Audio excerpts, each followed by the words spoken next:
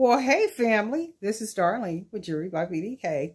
I wanted to stop by today and let you guys know I stopped off at Michael's because Michael has a 60% off sale on their strong beads. And I came out the door paying about $75. Don't tell nobody because I went in with a budget of 50 I said, okay, I'm going to go in. I'm going to spend about $50. That is all I'm going to spend. No more, no less. Who? Y'all do it too. So stop being judgmental right? So as I'm walking through, I saw bead after bead that I kind of liked. And I still don't like buying beads at Michael's because everybody buys their beads at Michael's. That's why I'm always online searching for new resources for where to get, you know, different beads at because I like my jewelry to be real different. But I'm going to show you guys what I ended up uh, uh, buying at Michael's. Okay, so these are some of the beads that I found. Those wooden beads. Um, I like the big beads. I'm going to do some uh, stuff with these wooden beads.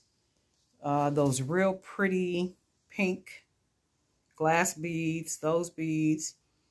Those pretty glass right there. I think these are metal. Yeah, those are metal, those shells. Those are really pretty. I've never seen any any like that. Uh, those pretty glass beads right there.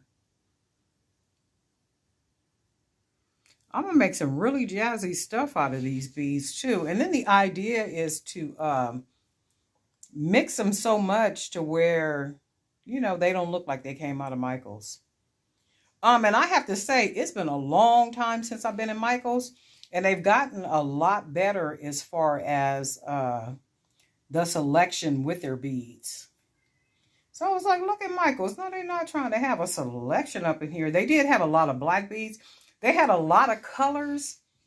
Um, and for some reason, I tend to gravitate to darker colors for some reason. I don't know. Reason like the browns, the blacks, the um, I don't know why, but I just do. I do like color.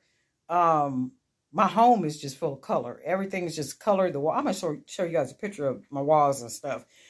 Black art. Everything is just full of color, and I love color. But for some reason, every time I buy beads, they're always like the darker beads. But I did find some some orange ones. Look, those are pretty, and the blue. I thought that blue was beautiful.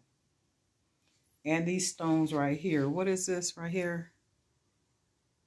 Yeah, those are glass beads.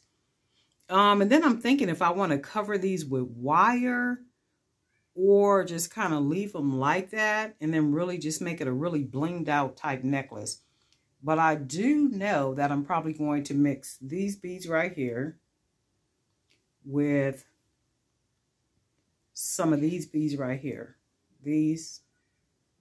And then I'm not sure what else. Maybe some silver or something. I got some other beads around here too. And then I'm waiting for another uh, bead delivery to come in too.